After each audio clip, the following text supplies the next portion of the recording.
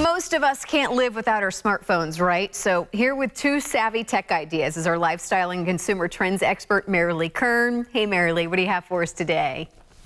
Hey there. Yes, today I have two great finds. First, I have the cutting edge Nokia 4.2, which offers the latest smartphone innovations at a truly accessible price. This Android One device just keeps getting better over time and really has it all, including a sculpted glass design, an amazing dual depth sensing rear camera, a dedicated Google Assistant button, and biometric face unlock. The Nokia 4.2 is available in black and pink sand and retails at Best Buy around 180 $99. Speaking of phones, next is the Short Years Baby Book and free app for making a beautiful baby book from your smartphone.